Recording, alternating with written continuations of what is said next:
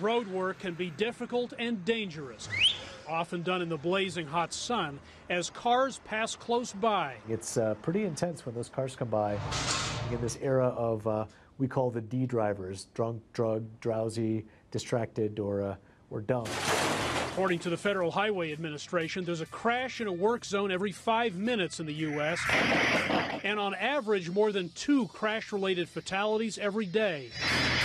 Drivers of crash trucks, which offer protection to the mobile work crews just ahead of them, are particularly vulnerable. It's like crash test dummy or, you know, uh, test uh, pilot. Uh, it's a dangerous job. Shailen Bhatt, the head of Colorado's Department of Transportation, is about to unseat at least one of those drivers. His agency will soon roll out what it claims is the world's first autonomous impact protection vehicle, a crash truck that relies on self driving technology. It's actually a pretty simple simple setup. Director of Highway Maintenance Kyle Lester says the cushioned truck is positioned behind the lead vehicle. Then someone in that vehicle electronically controls it using 10 GPS points between the two trucks. And in a sense, you just press go and put the technology in operation. So wherever that lead vehicle goes, wherever that driver goes, this vehicle's following a certain distance behind. They've been testing this driverless truck, which is also just around the corner in the UK, in places like parking lots. Most of the bugs, we're told, have been worked out.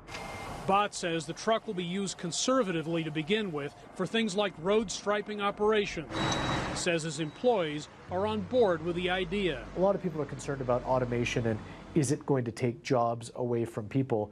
This is a job we want to take away from people. The truck, which has attracted interest from dozens of other U.S. states, costs $350,000, more than twice as much as a regular crash truck.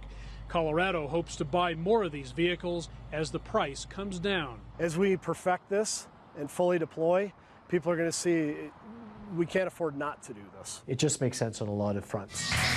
It's a no brainer, they say, when it comes to worker safety. Crash truck drivers pride themselves in taking one for the team, but that idea has always been better in principle than in practice. Hendrik Sybrandy, CGTN, Denver.